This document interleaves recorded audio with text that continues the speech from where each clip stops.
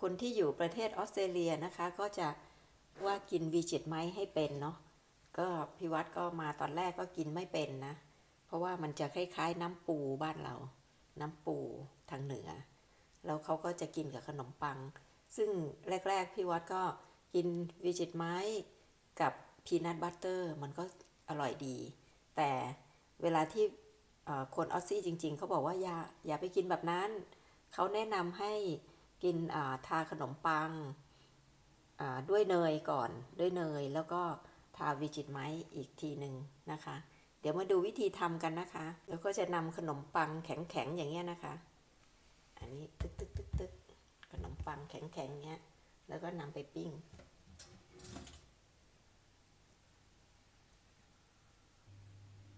อ่าปิ้งขนมปังเสร็จแล้วนะคะ ปิ้งขนมปังให้กรอบๆหอมๆแบบนี้นะคะ หอมจัง แล้วเราก็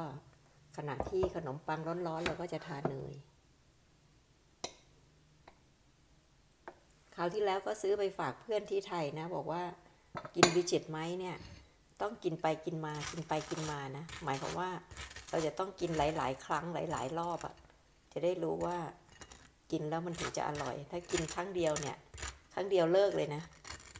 ถ้าคนที่กินครั้งเดียวเสร็จแล้วเฮ้ยไม่อร่อยเลิกเลย แต่ว่าก็วิธีการกินก็คือกินไปกินมาดีกว่าเนาะกินไปกินมาหลาย ๆ ครั้งก็จะอร่อย ทาเนยเสร็จแล้วเนี่ย เสร็จแล้วก็จะใส่วิจิตไม้เข้าไปวิจิตไม้กระปุกเบอร์เรอร์เลยนะ อันนี้เห็นเด็กๆเเขากินทุกวันตอนเช้า มันมีประโยชน์นะ เห็นเขาว่ามันมีประโยชน์เป็นผลิตภัณฑ์ของออสเตรเลีย ก็ไม่ได้ใส่เยอะนะ มันจะออกรสมีความเค็มนิดนึง มีความเค็มนิดนึง มันก็จะผสมกับเนยเนี่ย ก็กำลังดีนะ ไม่ได้ทาเยอะไม่ได้ทาหนานะคะ แค่นี้เองนะคะ ก็จะเป็นวิธีการกินวิจิตไหม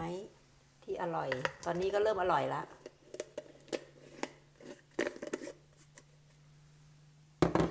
กิน ไปกินมาแล้วอร่อยแล้ว ลองชิมดูนะคะ อร่อยดีเหมือนกันนะ ใช้ได้เลยสำหรับอาหารเช้าวันนี้ก็จะมี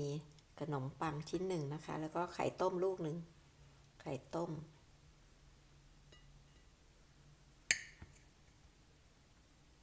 ไข่ต้มหนึ่งลูก แล้วก็